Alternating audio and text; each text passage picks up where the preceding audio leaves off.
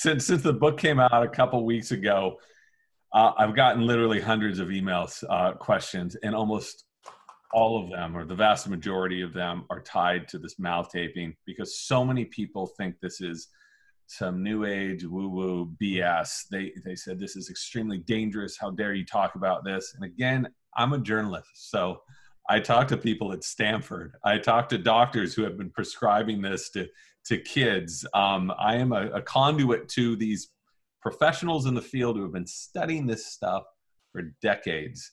And they've found, even my father in law is a, a pulmonologist, he's now sleep taping. And he said, Oh my God, I think you've just cracked into something.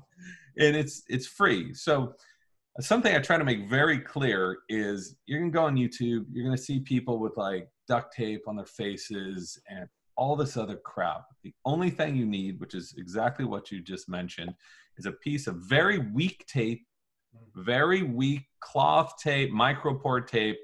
What I do, and I, I wish I had some right here, I don't, but um, I take a piece of tape about that big, yeah, about an inch by an inch, and I put my thumb on it to take some of the adhesive off. Yeah. I just put it right here, just a teeny little bit. What better than get some advice from you live on here? So I was thinking just there you go. Yes, perfect. That's it. And now, when it's time to take it off, don't rip it off.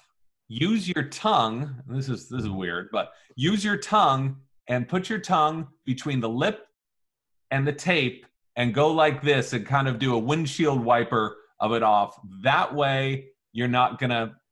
Yeah. So a lot of people are like, "This is so great. It works really good." But my lip is just so chapped Yes. no, this is you use weak tape and you just Yes. very gently do that, and Yes. uh, it's free. Yeah. It's it absolutely works. If you think of, a third of your life, you're breathing through your mouth, which is bad Mm-hmm. news.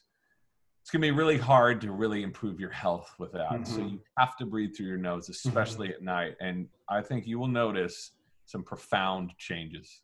Yeah, uh, I think it's worth just pointing out here as well um, for people to be very careful with their children, not to tape up the mouth. Uh, there's lots of products in the market. I think there's one called Myo tape that goes around the mouth. Um, so, so it, this is an adult thing only. With children, be very careful. And there are products specifically for that going around, uh, which I know that the Oxygen Advantage does sell. So you can check that out on there. Yes.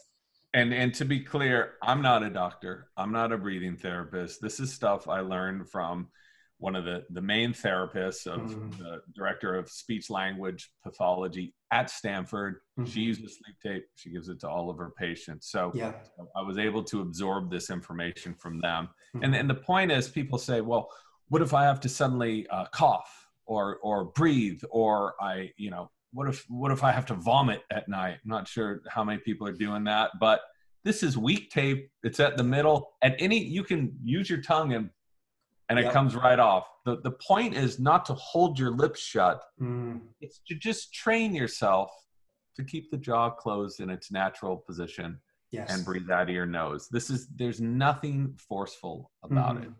And I've even noticed I'm, I've really evolved here that by just having that little piece of tape there, you could still even talk. You Mm. can you can cough. You can w- whatever. It's just to train you to breathe through your nose. And if somebody says to you, well, why am I, why am I doing this? What is the purpose of me taping up at night? What would you say the benefits are? Sure. So the benefits of nasal breathing, and this is something the ancients wrote about in, in numerous books over thousands and thousands of years. And luckily, science has really supported what they've been saying.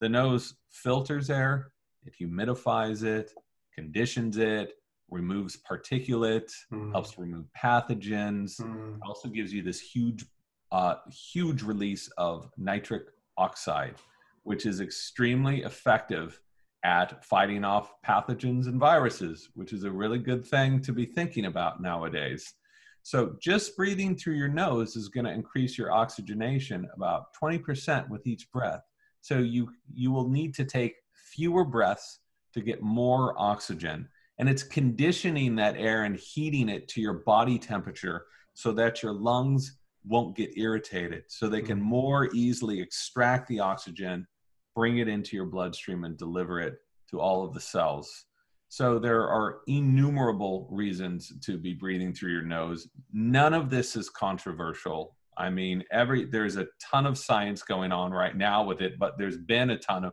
for the past 50 years. Like nasal breathing is how all animals should be breathing. If you look at any other animal in the wild beyond like some bulldogs mm-hmm. whose faces are so sadly messed up that yeah. they're just yeah. They look just like a lot of people. You know, we bred them to have these flat faces just mm. as we have become very flat faced. Any other animal in the wild, sleeping with its mouth closed, you know, it's breathing through its nose. Even if you look like a cheetah stalking prey, it's never, it's nasal breathing, even when it's running 50 miles per hour. And yeah. same with a horse. The only time a horse is breathing through its mouth when it's really, really sick you see a horse running fast. So, so this is how we're supposed to be breathing.